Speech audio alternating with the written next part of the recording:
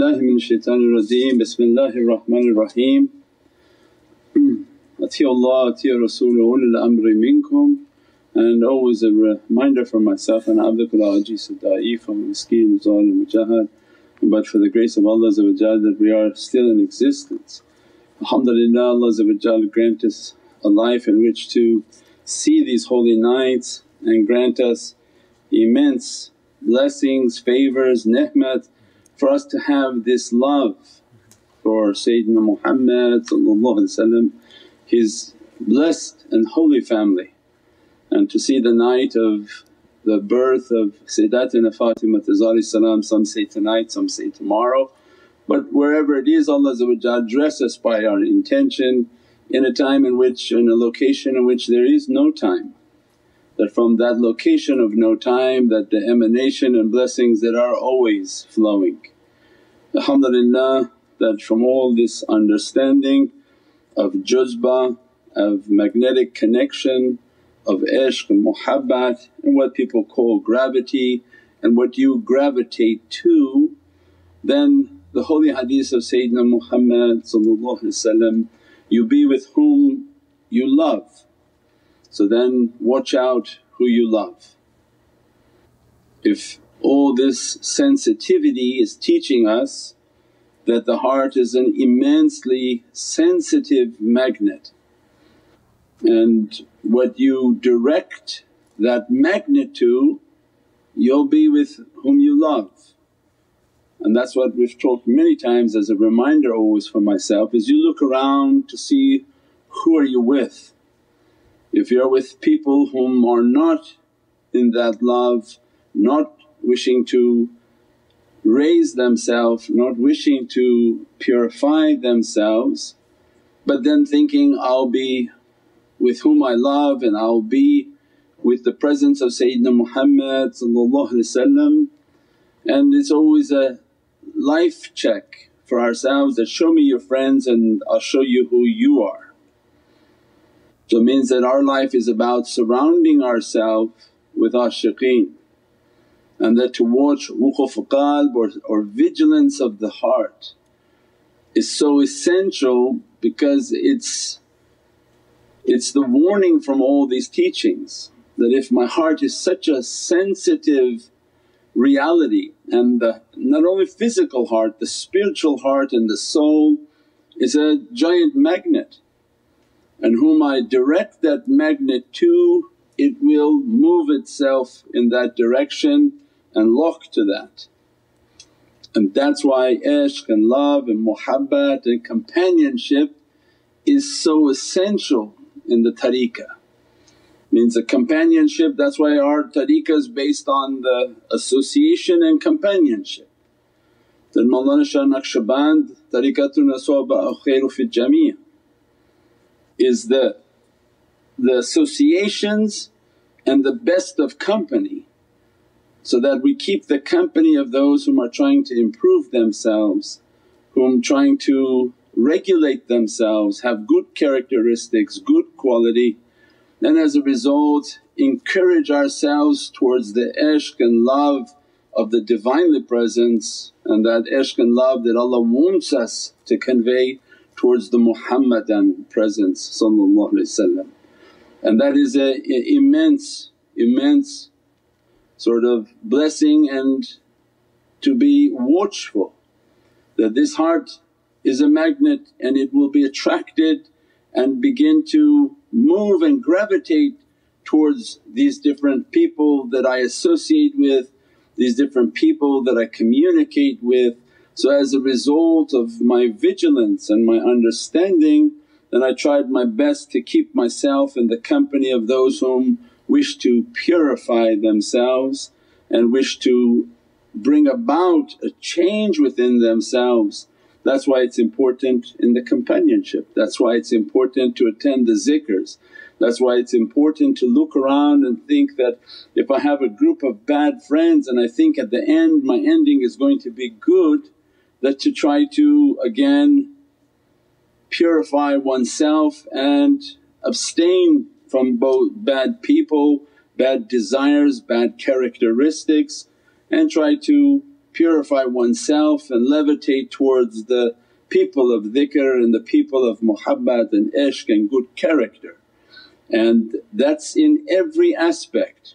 So if I go somewhere that I even think is religious and the person is yelling and screaming and exhibiting all sorts of aggressive and angry characteristic, it is as dangerous. So it's no difference because the bad characteristic is the same that whom you learn from, whom you associate with their characteristics will begin to like a madad flow onto you. Because the madad from all this teaching of magnetism is not in your hands. You don't accompany and then determine what type of energy you're going to take from them but it's something that will just flow. Whatever charge is on that person, energy and character is on that person and personality of that person by accompanying and keeping that company you begin to exhibit those characteristics. And that's what Allah wanted to show the angels. That if you're learning from what became shaitan and that his characteristic was being conveyed in his ulum. So it wasn't only just the knowledge but it was the vessel in which it was coming. Allah wanted to show them that the one you're learning from is not of the best of character and has an arrogance within his reality and Allah wanted to test and bring out the test. So as soon as He ordered them for sujood the one who was teaching said, no way, not going to. So that immediately showed the immensity of the bad character and the pride that I'm not going to, to listen to Allah. And that the angels who then bowed down they could realize that all the knowledge was in, in is interesting but the character was more important. So what Shaitan thought of himself was the danger. That he thought his knowledge made him to be self-sufficient and as a result of his pride and arrogance was then the downfall but at the same time it was the contamination into the heart of the student which were the angels of that reality. Those were the same angels because of their knowledge mixed with shaitan whom Allah later cursed and punished that knowledge that they had acquired from that reality led them to have shak and doubt. That's why the purity of their knowledge didn't absorb no matter what He taught them. So as soon as Allah said, I'm making Adam the Khalifa, they had now shak and doubt that, why are you making the Khalifa when they're going to make bloodshed like that? So how could they even talk to Allah because they had gained the bad characteristic. So I mean at every level this heart is extremely sensitive. So there's outright evil which hopefully many of the listeners have passed that where you're gonna hang out with a whole bunch of you know dangerous and bad character people and exhibiting bad bad characteristics and hope that you're going to change but there's going to be magnetic conveyance of energies and tajallis that you're not under control with. You're going to pick up all the charge of these negative people and you're going to end up going home talking and acting like them eventually. And then there's in the levels of purity the, the vigilance of the heart. These are for people who say, can I go here? Can I go to this zikr? Can I go to that zikr? Can I go everywhere? Can I go here? Can I go there? Just no because there's no adab to say yes and no for people. Everybody has free will but if you are studying and vigilant with your heart and say that, my heart is my most sensitive vessel in, reach, in, in which to reach the Divinely Presence. You're not going to reach by brain, you're not going to be reached by hands, you're not going to be reached by anything within your chest except the heart. So fine tuned perfected like gold and polished.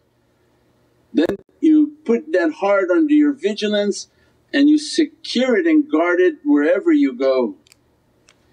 That you go and you feel that the, the energy is not correct the type in which the person's talking is not respectful to the presence of Sayyidina Muhammad and people who have accompanied me they know we walk out.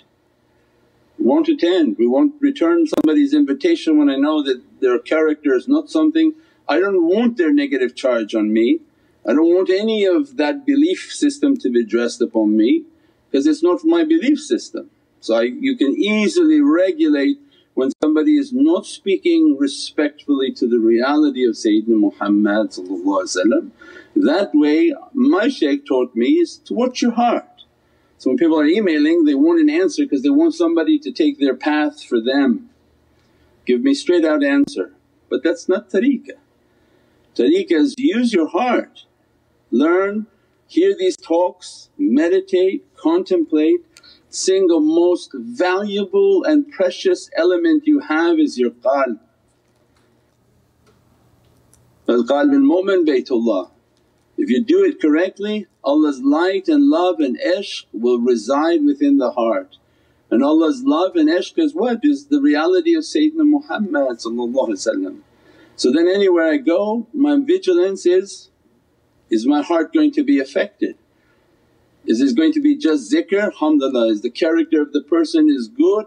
Alhamdulillah, be dressed by that reality. Are they going to start gossiping and sitting and talking and, and talking nonsense and then that energy is going to be levitating to me and after 10 weeks of sitting with them I'm going to have doubt like them too. So that's the danger of when you teach by energy it makes on it makes its its reality is understood. So by energy you understand that where I sit is gonna come to me. So best that I choose a group of people that are pious, that their characteristics they exemplify their understanding and their teachings. And if I don't find that then I log online only is enough for me because then I'm purified from all outside contamination. I'm listening to my shaykh, I'm getting the faiz and the energy that I need and that becomes the spiritual growth and the understanding that is being taught.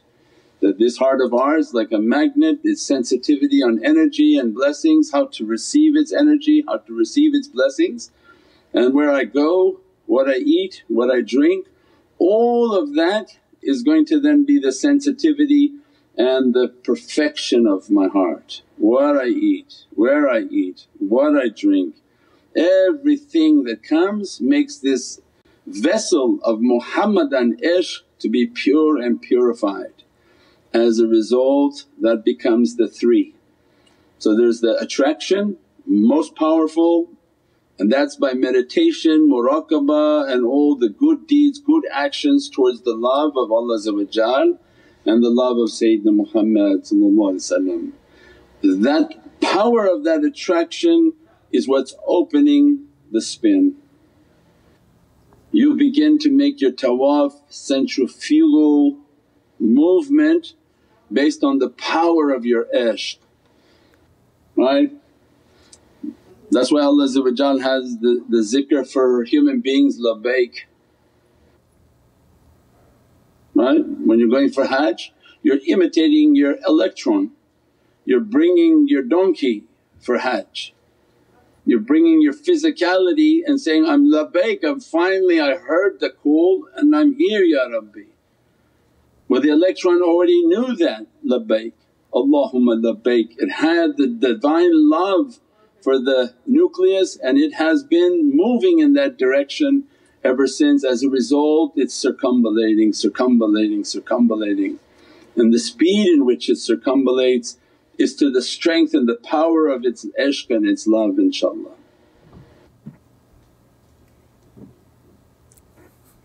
InshaAllah. الحمد لله. سبحان ربك رب العزة عما يصفون والسلام على المرسلين والحمد لله رب العالمين. بحرمة محمد المصطفى وبسير سورة الفاتحة